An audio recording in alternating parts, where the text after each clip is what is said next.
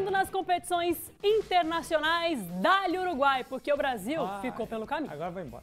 O sonho de conquistar as Américas segue vivo. Bom, pelo menos para a Argentina, Canadá, Colômbia e Uruguai. Estas são as quatro seleções que permanecem na disputa do torneio continental e vão para as semifinais com um só objetivo: chegar à decisão e buscar o título. Você já viu por aqui que a Argentina se classificou de forma dramática nos pênaltis. E o Canadá será o rival dos hermanos, e para eles também não faltou emoção. Os canadenses começaram a todo vapor e abriram o placar logo aos 13 minutos de jogo com Jacob. A então favorita Venezuela foi para cima e seguia martelando em busca do empate. E aos 19 minutos da segunda etapa, o atacante Rondon marcou esse golaço e em grande estilo empatou a partida. Sendo assim, pênaltis. E nas cobranças parecia combinado. Quando um acertava, o outro também. E quando um errava, era o mesmo cenário do outro lado. Mas quando Wilker Angel perdeu para Venezuela, Coné não foi bobo e fez para o Canadá, classificando a seleção para a semifinal. Se o Canadá venceu no aperto, a Colômbia jogou fácil e não teve qualquer conhecimento do Panamá. Um sonoro 5 a 0 que começou com gol de John Córdoba. O meia do São Paulo, Rames Rodrigues, parece que aprendeu a bater pênalti e fez o dele. Luiz Dias, com muita frieza, encobriu o goleiro e marcou o terceiro. Isso tudo no primeiro tempo. Já na segunda etapa, Richard Rios soltou o pé e marcou o quarto.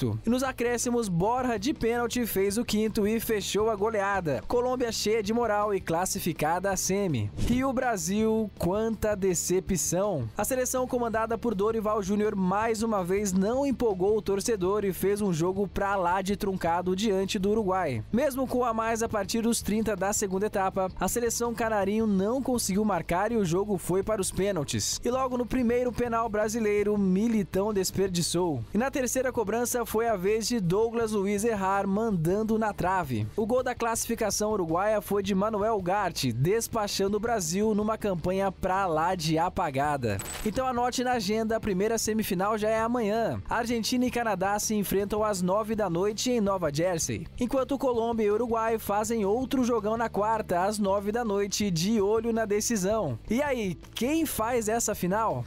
Olha, bizarro, Larissa. Canadá chegar na semifinal e o Brasil não. E essa corridinha de franguinho aí, não dá, mano. O Neymar começou com isso, mas o Neymar faz, vem e faz o gol. Os caras fazem a corridinha e erra, pô. Tenta Não imitar passe e erra. pano para o menino Ney, Lucas Bezecá. Não, o menino Ney não tem, os números dele tá aí, não tem o que. Ele mesmo em má fase joga melhor que esses caras. Mas não Escolhas joga, né? erradas, má gestão da CBF, Tá tudo horrível. isso que a gente já vem conversando há anos. Não está sendo fácil para o Brasil. Fato é, eliminados, agora você que está aí do outro lado, escolhe para qual das quatro sele- seleções você vai torcer, porque para o Brasilzão, acabou.